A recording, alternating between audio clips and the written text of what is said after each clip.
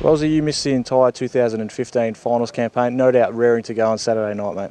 Yeah, it's been a um, long time coming for me. I suppose the, the, injury last year was really deflating, but to play and get in the finals this year, it's uh, been a long year again. But to be a part of it, um, it's fantastic, and you know now we're in it and we can, you know, get to work. So looking forward to it. Played 18 games this year, mate. Obviously, really happy to be getting some consistent footy under your belt and playing some good footy going into finals. Yeah, it was always the case of getting the body right and the Achilles, and responded really well from a couple of things we did over the break. And um, you know, the, the, guys have been fantastic and look after my body this year. And yeah, just happy to, to play my part this year. And you know, hopefully this this week or this Saturday night can play it again. What are you expecting on Saturday night, Wellsy? Uh, we're probably going to go in as underdog, but I imagine the boys have got a lot of faith that we can get the job done like we have the last couple of seasons. Yeah, that's right. We've been um, been in this position a couple of times now, and um, last two years have been good. But you know that, that was we can probably take a bit of confidence out of that. But really, we've got to go into this game with our our structures and the way we want to play, and we understand they're a pretty dangerous side. So done a bit of homework on them and make sure we get a good week of training under our belt. And um, yeah, it's going to be a hostile hostile crowd as we already know in Adelaide, but the finals is probably, probably going to go up another level.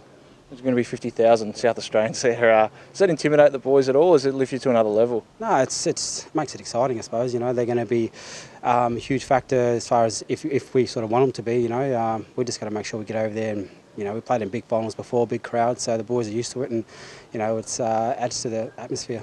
Talk about the Crows midfield, mate. They've got Sloane who's coming back this week. He's really vital for them. Crouch brothers, Douglas, they've got a really strong midfield. It's going to be tough for our boys. Oh, no doubt. He's um, th those players are fantastic players, and don't forget Thompson as well. These guys are, you know, obviously he's All-Australian uh, vice captain. He's had a great year, and you know he's come back from his suspension, and you know he's going to be raring to go. But they've got good players throughout the whole team, so we're going to have to just watch the, you know, pretty much all of them. But you know, keep a uh, close eye on, on Sloane and those guys. What is the build-up like? Are the boys pumped? Are they ready to go? Yeah, it's our first session today. I thought we um, trained pretty well. Um, good excitement around the group and you know the whole team. You know, not just the guys that actually play on the weekend or represent the club, but it's everyone, the younger ones who can really lift the older boys up. And um, you never know, it might be your turn this week. There's obviously been a couple of tough weeks for a few of those senior guys. Uh, how much do you guys want to perform for those blokes? Potential that um, every week can be their last, and you guys obviously want to get them another week. Oh, definitely. They've been an unbelievable part of our history, and um, we want to perform for them and, and the whole club and all our members. So, you know, they're they're feeling like they just want to play their part too. You know, that's the kind of blokes they are, just full of class, and you know they will make sure they can you know pull their weight just as much as anyone. But you know they're all great players. Uh, we just you know feel privileged to play with these kind of players, and Brent and, and Dal and Spud and Drew. So yeah.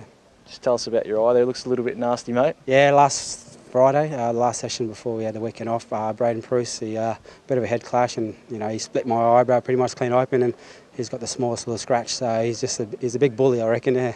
All the best for the weekend, mate. Cheers, thanks, guys.